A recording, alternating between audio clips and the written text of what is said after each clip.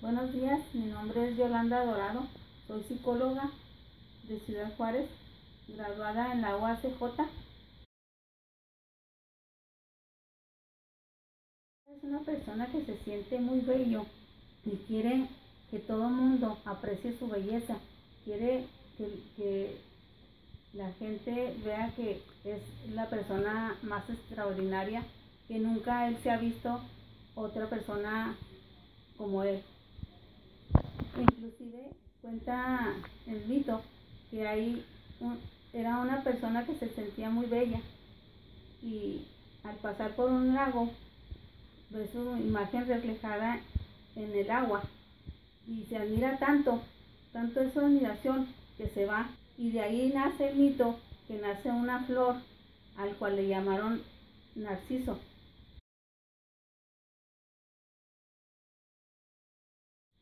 Sí, tengo algunos pacientes que sufren de este desorden de personalidad, aunque pienso que este desorden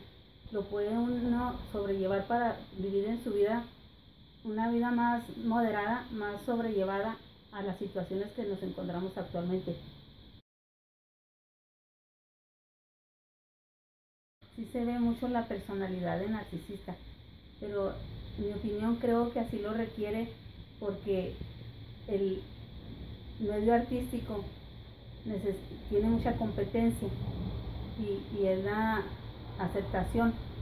de ser, tener narcisismo, algo de narcisismo para poder sobresalir en el medio artístico. punto de vista, el narcisismo no creo que sea un desorden si lo sabemos sobrellevar a una manera no tan elevada para poder sobresalir en, nuestro vivir diario, en nuestro medio ambiente que nos rodeamos. Creo que sí tenemos que tener un poquito de narcisismo, todos, para no podernos sentir más abajo de otros, hay que tener un, un mediador a la vida diaria.